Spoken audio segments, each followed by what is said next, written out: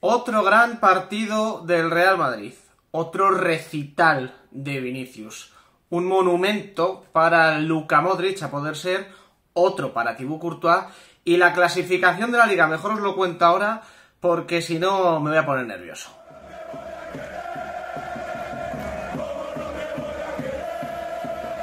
¿Qué tal familia? ¿Cómo estáis? Pues sí, Pintaba de aquella manera diciembre por aquello de que íbamos a tener un calendario muy duro, que si Inter, que si Sevilla, que si Real Sociedad, Athletic Club, eh, Atlético de Madrid, y ha empezado el Real Madrid a ganar partidos. Pero no a ganar partidos de cualquier manera, es que los ha ganado jugando muy bien, muy, muy bien al fútbol. Quitando un rato, un mal partido que tuvo contra el Athletic Club, que aún así también ganó, el resto han sido partidos de, un nivel altísimo. Los últimos 20 minutos contra el Sevilla, el partido completo contra la Real Sociedad, eh, el partido completo quitando el primer cuarto de hora ante el Inter de Milán, lo de hoy, que es lo que vamos a analizar ahora, ante el Atlético de Madrid. El Real Madrid está jugando a un nivel que hacía tiempo que yo no le, no le veía. Y debo decir que hacía tiempo que yo no disfrutaba tanto con el fútbol del Real Madrid. Por cierto, en cuanto a la clasificación, 8 puntos respecto al segundo clasificado. Creo que son 13 respecto al Atlético de Madrid, el equipo del pueblo. Y son cerca de 56, 57, ya no me acuerdo, respecto al Fútbol Club Barcelona, que lo mismo está pensando en la Champions y con llegar a la sexta plaza le vale. Pero bueno, eso es otra historia. Volviendo al partido de hoy, al, al derby contra el Atlético de Madrid, antes de empezar con eh, el Real Madrid únicamente, eh, voy a decir una cosita.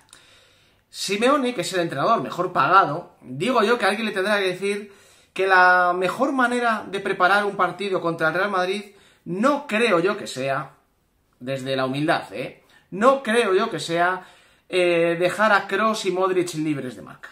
Es decir, hoy Cross y Modric han dado un recital, que es lo habitual, sobre todo en el caso de Tony Cross, pero es que además lo han hecho con una comodidad, con una facilidad tan insultante, que ya ha habido un momento en la segunda parte que le he mandado de hecho un audio a Iñaki Angulo digo, ¿de verdad?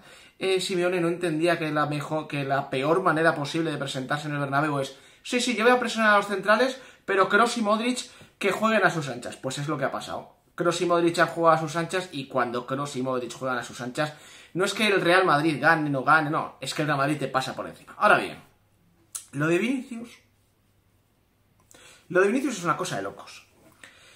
Ha empezado hoy el partido un poco tímido, eh, que parecía que no iba a poder con Marcos Llorente, que no se terminaba de ir, pero como Vinicius se ha convertido en ese jugador que ya entiende el juego, que ya levanta la cabeza, que ya sabe cuándo tiene que cambiar de posición para ser decisivo y demás, pues ha empezado a hacer de las suyas, lejos de Marcos Llorente, y de hecho eh, se ha inventado el primer gol del partido, bueno, se ha inventado.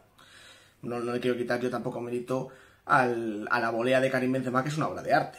Pero digamos que Vinicius, que estaba un poquito encorsetado en la banda izquierda, se ha dejado caer por la derecha, ha tenido metros por delante, ha visto a Benzema y se le ha puesto para que Benzema marcase un grandísimo gol de volea en un partido que ahí se ha empezado a decantar a favor de un Real Madrid que es que luego ha sido infinitamente superior al Atlético de Madrid, pero infinitamente superior al Atlético de Madrid. Yo creo que mm, no ha habido ningún momento en el que el Atlético de Madrid haya tenido la sensación de poder estar dentro del partido. Lo único que podía atar al Atlético de Madrid al partido era el resultado, que era un 1-0. Es verdad que el Madrid tampoco estaba teniendo un aluvión de ocasiones, pero las únicas dos, tres veces que ha tenido que intervenir Courtois, por cierto, mejor portero del mundo de largo, no me voy a cansar de repetirlo. Un saludo a los que votaron el tema del balón de oro y colocaron a Courtois como el octavo mejor portero del mundo, no tiene ni pies ni cabeza. Pero como decía, las dos o tres intervenciones de gran mérito que ha tenido que hacer Courtois han sido jugadas aisladas o en acciones a balón parado, no producto del juego. El Atlético de Madrid no ha generado peligro en ningún momento eh, con acciones que tú digas, bueno, es que está jugando bien, es que está apretando, es que esto tiene alguna lógica, es que la elaboración ha sido buena, nada. O algún despiste del Real Madrid, o alguna acción a balón parado que el Real Madrid no ha sabido controlar, nada más. El Real Madrid ha jugado cómodo, ha jugado muy bien todos han estado a un gran nivel. Militao sigue en plan jefe, David Alaba es un jerarca, Casemiro hoy ha estado como en sus mejores días, Kroos y Modric ya os lo he dicho, de Vinicius vuelvo a hablar ahora, Benzema que se ha retirado en el descanso por precaución, que nadie se asuste, es por precaución simplemente para, para andar controlando ese tema de que no se le vaya la sobrecarga y no acabe lesionado, o sea que nadie se piense que está algo grave.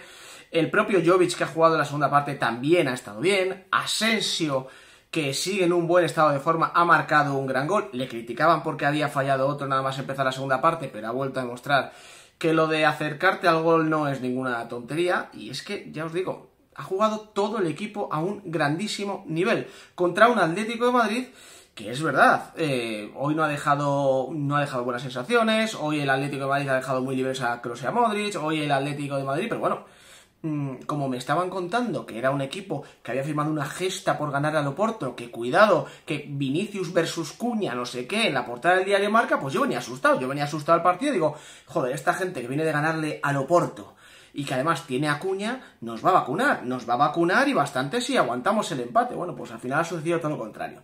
Y volviendo a Vinicius y esa manera de entender el juego y demás, la primera asistencia es con la derecha, o sea, desde la banda derecha, y en la segunda, en una acción en la que Jovic ha estado muy bien, Vinicius tenía la posibilidad de encarar y no era mala porque era un uno contra uno clarísimo para meterse dentro del área, pero ha preferido levantar la cabeza, poner un poquito de pausa y dejársela de cara a Asensio para que este marcase casi a placer. Vinicius es eso ahora mismo. Es un jugador, eh, un agitador de manual, un jugador con uno contra uno realmente destructivo, un jugador que entiende el juego como pocos y un jugador que es decisivo, pero decisivo con mayúsculas. Yo lo ponía en Twitter antes, hacía la pregunta y yo mismo la contestaba. ¿Me podéis decir ¿Qué tres futbolistas están en mejor estado de forma a día de hoy que Vinicius? Pues ya os digo yo que no hace falta que os molestéis. Ninguno. A día de hoy, Vinicius es uno de los tres futbolistas en mejor estado de forma, iba a de la liga, no, de la liga es el mejor, del mundo. Y el Real Madrid, pues sí, está ganando por Vinicius muchos partidos, está eh, encaminando muchos partidos por Vinicius, pero claro, para eso lo tenemos. Hay otros que no le tienen. Así que poco más os puedo contar. Nuevo triunfo del Real Madrid. Se le ganó al Athletic, al Sevilla, a la Real, al Inter, al Atlético de Madrid. Vamos camino de terminar 2021 con una nota muy alta, sobre todo en este último tramo del año. Nos estamos divirtiendo como hacía tiempo con el Real Madrid. Ancelotti ha dado con la tecla. Parece claro que va a intentar ir con todo hasta más o menos enero y luego a partir de ahí eh, ver el tema de las rotaciones. Y por lo demás, nada, que hay que ponerle, como digo, una estatua a Luka Modric donde él quiera, como si son un busto en cada escalera del Bernabéu, donde él quiera.